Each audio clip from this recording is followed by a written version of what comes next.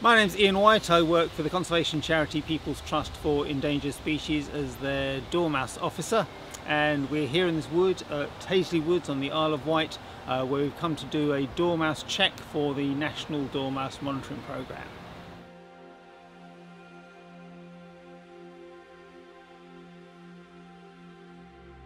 So dormice are a fabulous indicator species of high quality woodland, of high quality habitat.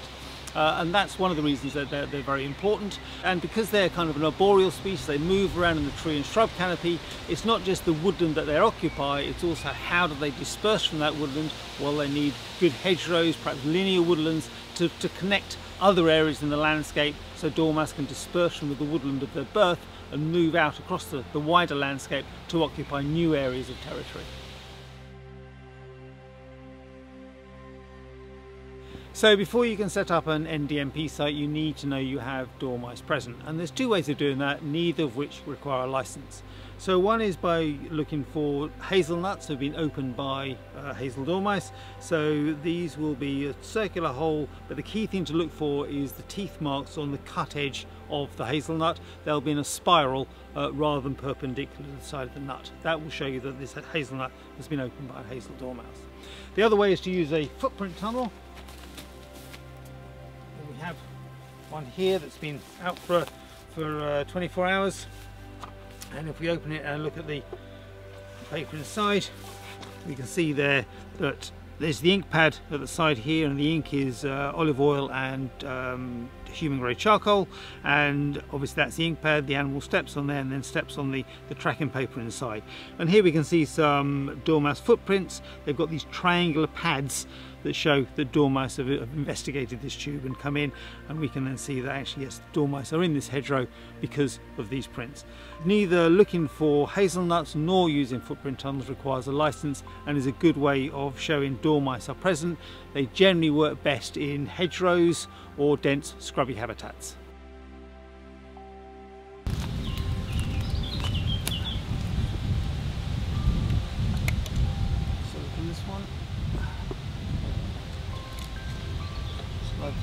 Okay, so there looks like dormouse nest in there.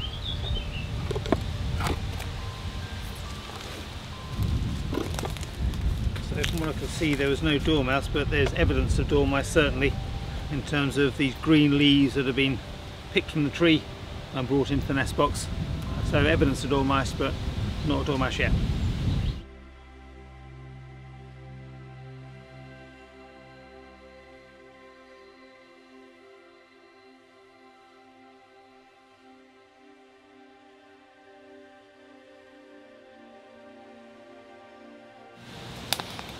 Put that in there.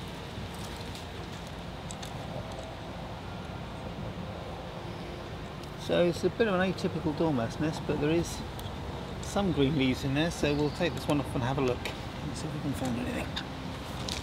So we're going to do this to make sure if there is anything in this uh, in this box, it, it can't escape. Um, we just want to count how many here. We want to weigh them, and we want to sex them as well. Let's uh, first see if there's anything take the lid out. Yeah, a bit of an odd nest, but there are some green leaves in here which suggest dormouse.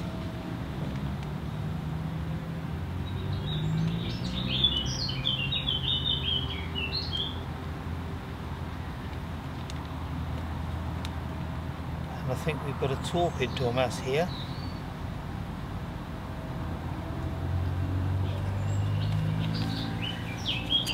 Yeah, we have a torpid dormouse, so This is like a mini hibernation state. So when dormice go into hibernation, they hibernate in the ground on the ground over winter between November and kind of mid-April. They store food within their bodies and they use that to survive hibernation.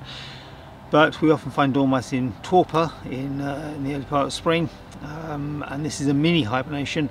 They're usually going to torpor um, because the weather's a bit bad, so it might have been raining and they haven't been able to feed. But going into torpor is all about saving energy because when they're like this, it's not really sleep. Their body temperature will have dropped to the air temperature. Their heart rate will have slowed from about 300 beats per minute to about perhaps two beats per minute. So it's all about saving energy from, from a dormouse point of view.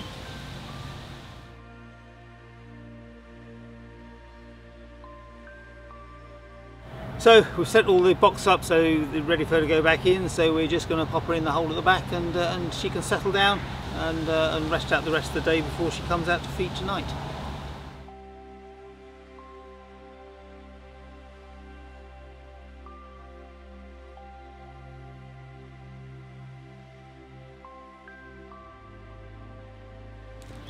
So we'll just bung this one.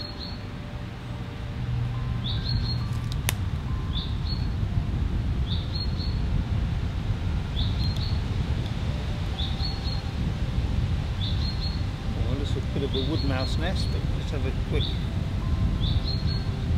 Oh no, I think there is a dormouse in there, so we'll take that off and get that in a bag and have a closer look. Feels like we've got another torpid dormouse.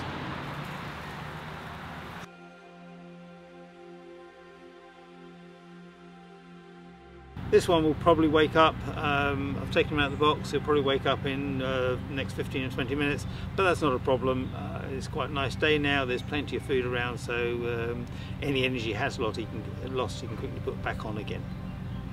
So we are still going to sex him, we are going to weigh him, um, looks a bit of a, a slightly chunkier animal to me. Let's see if we can find out whether it's a, is a boy or a girl. And it looks like, from what I can see, it looks like a female. Yep, a female. And you can see how gripping my fingers quite happily.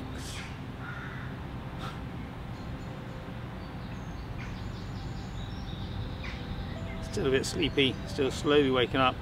Feel its tiny little claws just holding onto my finger there uh, just showing how well adapted these animals are for a kind of a life in the trees.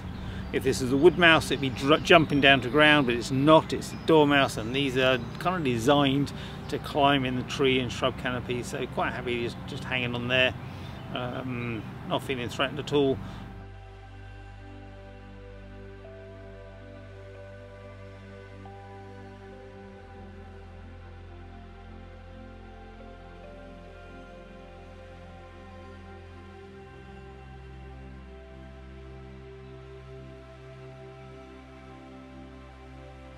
So we've had a great day out in the woods, uh, checking a number of dormouse boxes. We've been fortunate in finding a few dormice. We found some in pairs, so hopefully they will be having some babies later on in the year. And obviously all the data we've had feeds into the National Dormouse Monitoring Programme, which gives us the state of the Britain's dormouse population. But there are other things we do to help dormouse as well. So we run training events for people wanting to know more about dormouse.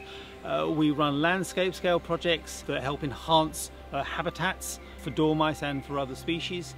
Uh, we fund research for things that can lead into and can help us with dormouse conservation and we uh, help and advise on woodland management uh, and if you want to know more about that please see the next video uh, in part two of this in this series.